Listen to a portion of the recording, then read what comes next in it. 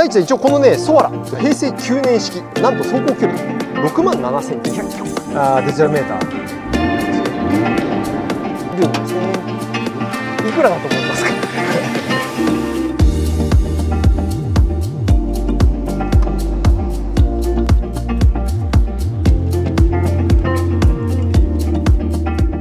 じゃあよし君こんにちは。こんにちは。えー今日は4月の21日ですね、はいえー花粉もだいぶ収まってきてちょっと外で撮りましょうということで。あの今日はこの3台を持ってきました。三台。3台。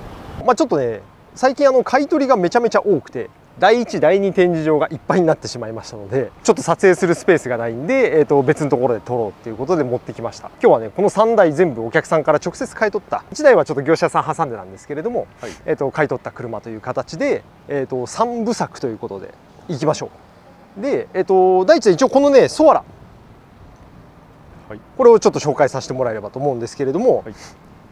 よしソアラ前1回やったっけ？プロのソアラです。だよね。ああそうだね。でそれぶりなのでまあ半年ぶりぐらいに入ってきたかなっていう形の、はい。えー、と1台です。前回は15万キロぐらいだったんですけれども、はい。今回こちらのソアラはですねなんと走行距離6万7200キロ。すごい。めちゃめちゃ少ない、まあ、先にあの車のスペック、えー、と内容をお伝えさせてもらうと,、えーとはい。平成9年式、はい平成9年1月登録の JZZ30 の、えーソソアラ、えー2.5の、えー、と GTT っていうグレードですね、はい。えー GTT っていうことは、はい、エンジンは、はい、ターボ。ターボ、はい。ターボですね。ターボ。何ターボですか？何エンジンが積んでますか？ツインターボ。ツインターボがついてますか？えっとねあながち実はちょっと間違ってなくて、はい。えっと結論この車に積んであるのは 1JZ の GTE の、えっとシングルターボなんですよ。シングルターボ。シングルターボ。だよし間違ってるんですよ。間違って。る。んですけど、はい。えっとこのソアラはねあの前期型はツインターボなんですよ、はい。だからあながち間違ってはない。惜しい。惜しい、はいで、えー、と後期型からはあのチェイサーとか100系とかと同じですね 1J の、えー GT のシングルのターボはいに変わっていてでその後期型のモデルとはいいう形になっております。で、えー、と先ほど申しましたように走行距離が6万7200キロ車検が今年の12月までか、えーまで残ってて、えー、と修復歴はなしというお車になります。で状態もあのかなり良くてお客さんはね、えー、と YouTube このお客さんも見てもらってて、はい。でそれでお問い合わせもらってあの直接買い取りをさせていただいたと。あで実はね買い取る際はあのホイールこのホイールじゃなかったんですよ。もともとはね、はい。別のホイールがついてて、はい。でそれがもうあのアルミの腐食がすごかったりとか、はい。タイヤがもうひび割れしてたりとかだったんで、はい。えっとアルミはうちの、えっと在庫のストックしてたものに、えっと交換してます、えっと AIMGAIN ってやつなんだけどね、はい。えっと交換してあったりとかしてるという感じです。じゃあ、えっと社外品の説明をそのまましていきましょうか、はい。えっとまあ、ちょこちょこいじってって、まあ、まずはもうさっき言ったようにそのアルミホイールですね、はい。はい。えー19インチのホイール。ちゃんとフェンダーに収まってるんで車検対応という形です、はい車庫帳に関してはテインの車庫帳だね。テインの車庫帳が入って、えーローダウンされてます。はい。であとマフラーですね。マフラーはブリッツの、えー、とニュルスペックマフラーの左右出しと。左右だし。左右2本出しですね。ソアラは2本なんですね。マーク2とかは1本とかですけど。はい。はい、かっこいいですね。えっ、とマフラーサウンドは後ほどと。まあ外装に関してはまあそれぐらいっていう感じ。であとはまあクラッチが TRD のスポーツクラッチ TRD のクラッチが入ってたりとか、まあ、あと追加メーターが入ってたり、えー、とエアクリーナーがあのサードのフィルターが入ってたりとか、確かブレーキパッドもエンドレスのパッドかはい。に変わってたりとかっていう形になっております、はい。なんでこの TRD のマークはもうクラッチのことですね。クラッチが入ってるからっていう感じですかね。はいあーそうそう。外装も、えー、とかなりこの車綺麗で、まあ、やっぱ距離が少ないがゆえに綺麗と言いますか、えー少ないにふさわしい綺麗さと言いますかっていう形です、で、えー、と目立つ傷で言うとねここの下。ここですね。ちょっと擦り傷あります、気になる方はまあ、うちで簡単に直すこともできますし、まあ、フロントリップとかつけるエアロとか組むんだったら、まあ、当然隠れちゃうので、はいえーまあ、あえてちょっとそのままにしてますっていう感じですね。えーあとはまあ本当小傷ちょこっと飛び石がついてたりとか、はい。えー、とそれぐらいだったかなちょっと外から遠目でこっちから撮ってもらっても目立つ傷なくないですね。綺麗な感じですねはい、はい、でね入ってきた時はねえー、とここのバンパーですね。はい。ここはねちょっとこう軽く押されて塗装にのクリアにひびが入ってたんで、まあそれはうちで直してあるんだけれどもね、はい。ここは綺麗になってっていう感じです。お客さん直り直りましたよってここ直すのって言われてたんで直しますよ綺麗にっつってはい。言って買ったんだけどね。ちゃんと綺麗に直ってますよっていう感じです、はい。とあとはドアにエクボああったあったこれだ。これですね久保あーはい。という感じです。あのーまあボディ自体は多少ちょっとねこれまあパールホワイトだから全然目立たないんだけど、はい。ちょっとね塗装にくすみがあるからまあ本当はもう一回磨きやってあげた方がいいかなっていう感じではあるんだけど、はい。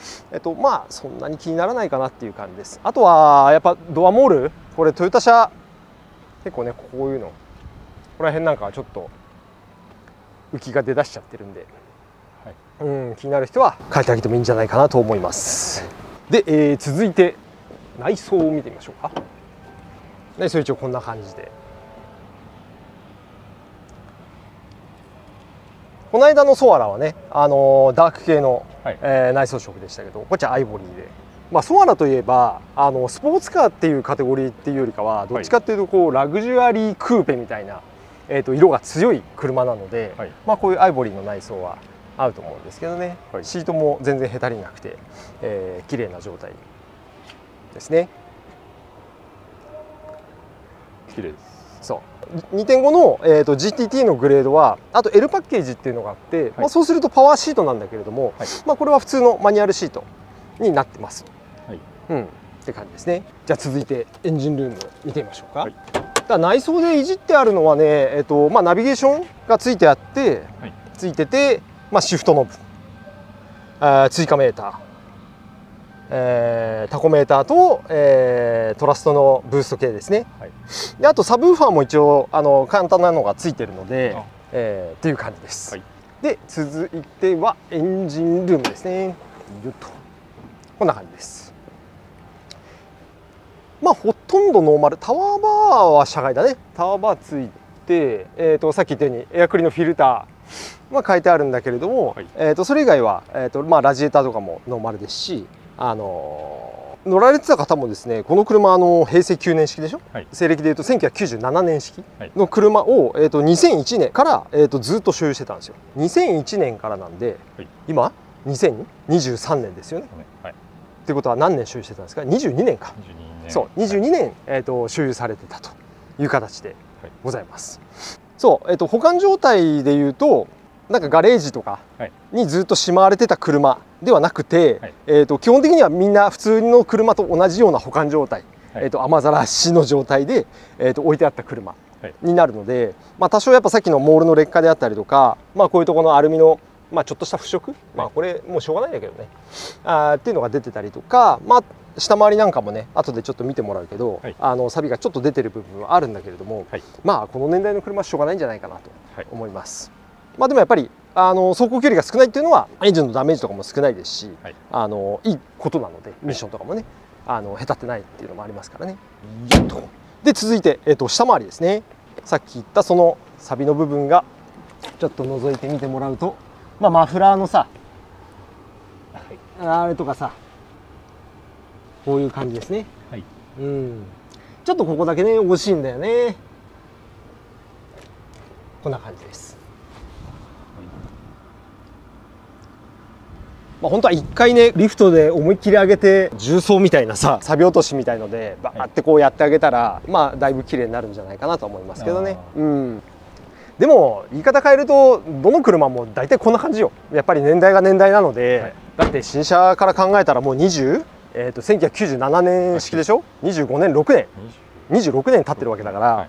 うん、それでこのボディの綺麗さ走行距離の少なさはい。保たれていてあとね、えー、と記録簿に関しても、えー、と手元で残ってるのでいうと、まあ、平成10年から、えー、と平成20年に飛んで20年25年27年29年で令和1年令和3年で、えー、と整備の記録簿があってはい。基本的に前のお客さんあの、えー、とディーラーさんにねあの知り合いがいらっしゃったようであの基本的には全部ディーラーでえー、と整備されてた車とはい。いう形です、なんで取説ももちろんあるし、えー、と新車時に発行された保証書、はい。であとスペアキーも2つあるしあとはあのキーレスはい。純正キーレス別体式なんだけれども、まあ、それもちゃんとあるので、はい。メンテナンスの状態とか、はい。あそういうのは良かったと思います、はい、じゃあ早速エンジンかけてみましょうか、はい。これちなみにね、まあ、当時の当時のなのかなその熱っ今日はよし何度ですか？27度です。27度ですよ。4 月ですよ。こんな感じですね。でソアラはデジタルメーターなのでこれこの車の1個前の方はい。から確か採用されたのかな、はい。あーデジタルメーターなんですね。こんな感じ？今はもうさこういうデザインないじゃん。でもやっぱりタコメーターがタコメーターがこういう回り方じゃなくてさ、はいねこうこうだからさわかわかるでしょ？こういうあ分 かりづらいじゃん。言い方変だけど。なので、まあ、このタコメーター、まあ、必須とは言わないけどちょっとこういう針のメーターに慣れてる人からすると、まあ、シフトタイミングはい。がちょっと分かりづらいよね。あった方がいいっていうので、まあ、お客さんもつけてたと思うんだけどね、はい。うん。はい。という感じでございます、じゃあマフラー音ちょっと聞いてみましょうか。これ今だからアイドリングの状態？はい。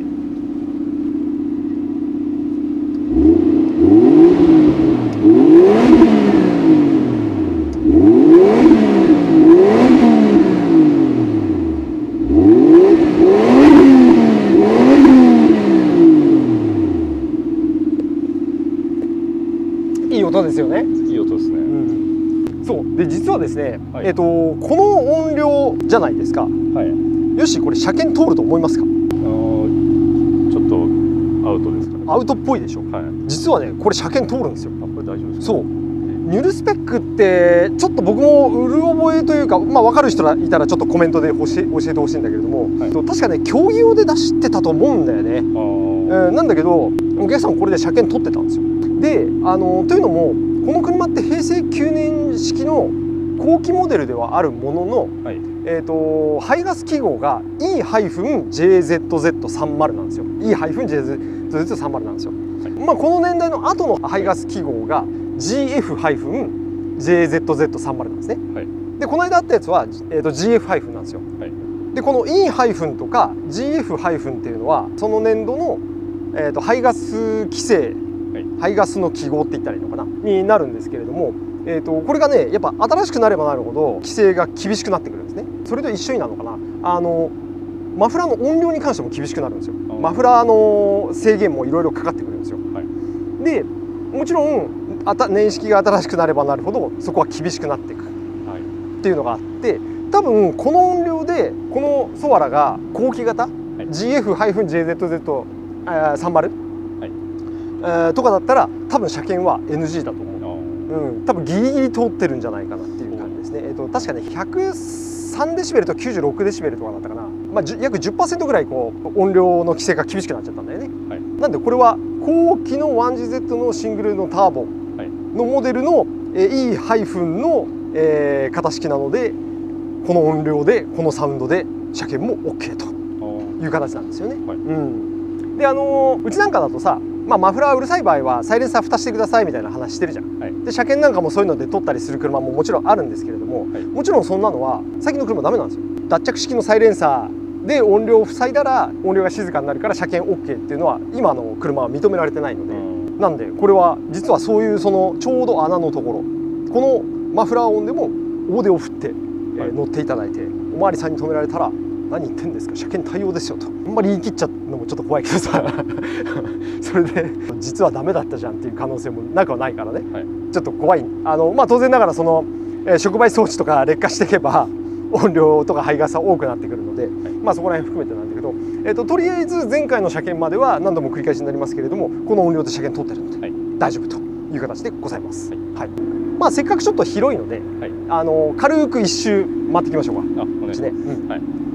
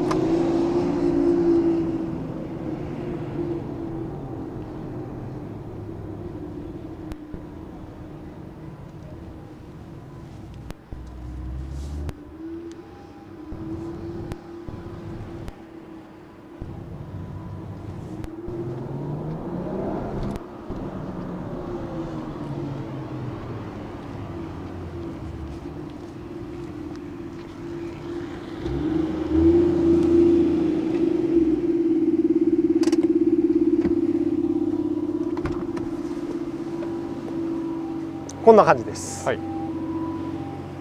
やっぱ車って走ってる姿がかっこいいよね。そうですね。そう。ちなみにこの TRD のスポーツクラッチってこれ多分結構昔のやつなのかな、まあ多分今はもう絶版で売ってないんですよ。はい。なんでまああのこれのクラッチなくなっちゃったら、まあ、その同じものは買えないので別のクラッチ変えてほしいんだけども、当時のって全然これ優しくなくて俺今ちょっと普通に乗ってたじゃん、はい。ちょっとよしこれ乗ってみ。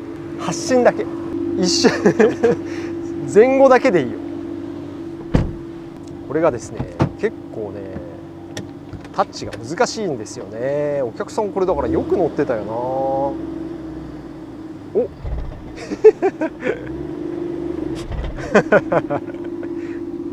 よしバックバック。怖っ。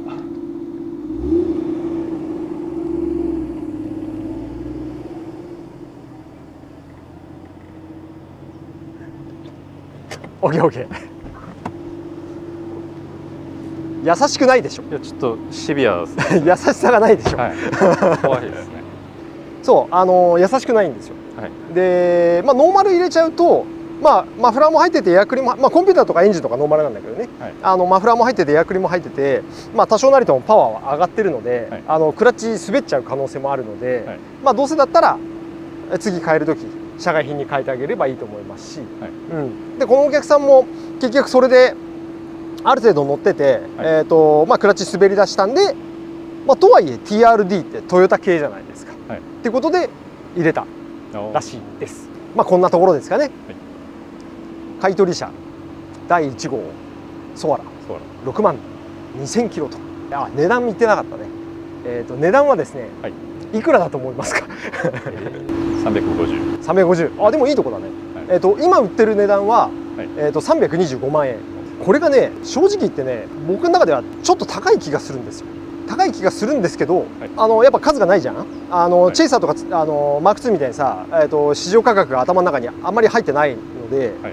えーとまあ、一応カーセンサーとかグネとか調べたのよ。そしたらさ結構高く売ってるんですよ。どうしてもその売り値がある相場があるので、はい。一応その値段にさせてもらってはいるんですけれども、はいえー、と多少はちょっとご相談乗れるんであ個人的にはもうちょっと安くてもいいんじゃないかなっていう気はしてる。でもねうん、まあ、やっぱこの距離でまあ周期歴なし、はい。で、まあ、この間もオークション1台出てたかな？23週3週間前ぐらいかな、はい。やっぱそれなりにちょっと値段はしてた。しかも結構ボロボロなやつがあの走行距離少なかったんだけれども、はい。えーとまあ、結構それなりの値段してたんで、はい。まあ確かに、まあ、300万以上は全然あってもいいのかなとは思うんですけれども、はい。なんかちょっと個人的にはこのプライスもうちょっと安くてもいいかなと思ってたりしてるので。ーえーもし購入希望の人がいたら相談してください、はい。多少は何かサービスしたりとか相談乗れるかもしれないという感じです。じゃあ一応今回は第1弾これ終わりで次の動画はこっちの2台。どっちからいこうかな。じゃあ110系のマーク2からいきますかね。はい、っていう感じでいきましょう、はい。じゃあ一旦ここまでで、本日はい。ましたありがとうございました